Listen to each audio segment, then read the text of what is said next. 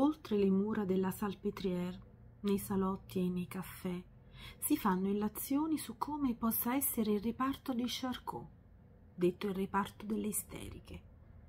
Immaginano donne nude che corrono nei corridoi, sbattono la fronte sul pavimento, allargano le gambe per accogliere un amante di fantasia, urlano a squarciagola dall'alba al tramonto.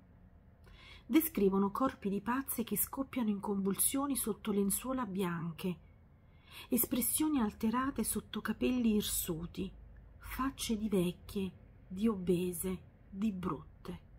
Donne che è sacrosanto tenere a distanza, anche se non si sa bene perché, visto che non hanno arrecato offesa o commesso delitti. In quella gente spaventata dalla minima eccentricità, che siano borghesi o proletari, pensare alle alienate eccita il desiderio e alimenta i timori sono affascinati e inorriditi dalle pazze. Ci resterebbero sicuramente male se andassero a fare un giro nel reparto in quella fine di mattinata. Nell'ampio dormitorio le attività quotidiane vengono svolte in tutta calma. Alcune donne passano lo straccio sotto i freletti metallici, altre si lavano col guanto di fronte a un lavabo d'acqua fredda. Qualcuna è a letto, schiacciata dalla stanchezza e dai pensieri, e non ha voglia di parlare con nessuno Qualcun'altra si spazzola i capelli parlando da sola sottovoce o guardando dalla finestra il sole che illumina il giardino in cui resiste ancora un po' di neve. Sono di tutte le età, dai 13 ai 65 anni. Sono brune, biondi o rosse, magre o grasse, vestite e pettinate come lo sarebbero in città e si muovono con pudore. Lungi dall'essere l'ambiente depravato di cui si fantastica all'esterno, il dormitorio sembra più una casa di riposo che un'ala dell'ospedale dedicata alle isteriche. Solo guardando più da vicino sopravviene il turbamento.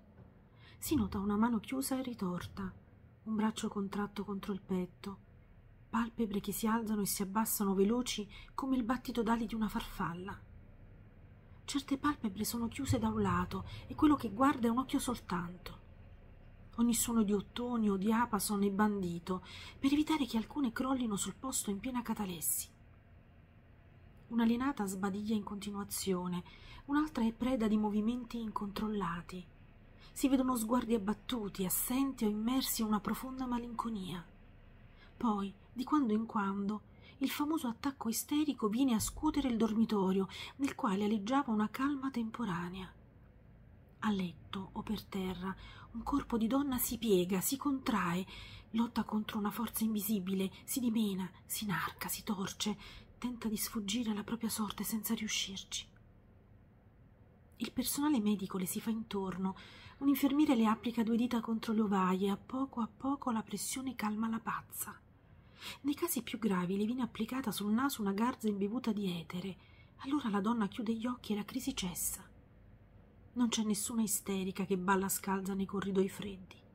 Solo una preponderante battaglia muta e quotidiana per la normalità.